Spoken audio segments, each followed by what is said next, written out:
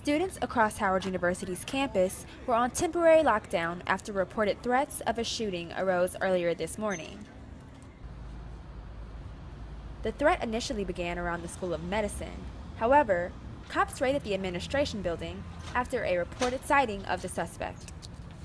I think it was really inappropriate for an individual to take a gun into an administrative building and, and bring uh, harm to a campus that's, you know, just around 10,000 students. But furthermore, I was very satisfied with the way the university informed the students and the, and the community members about what was occurring on campus. I was personally notified by a student who was immediately to my left in the classroom. Even though administration sent out an all clear alert around 2 p.m., they still suspended classes and urged students to continue to be conscious of their safety.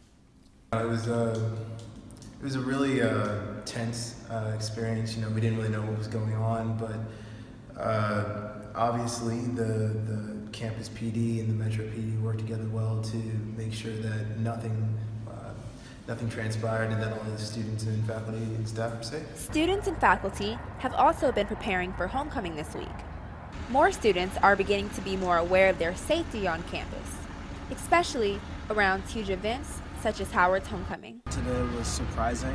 Um, traditionally, you think of Howard as a safe space, so you don't imagine shooters or anything crazy like that happening, especially during homecoming week.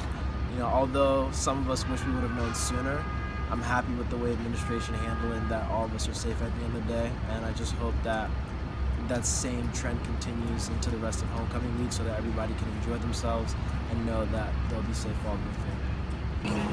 As you can see right behind me, homecoming is in full effect, so it is imperative that students remain conscious and aware of their surroundings this week. For News Vision, I'm Courtney Tate.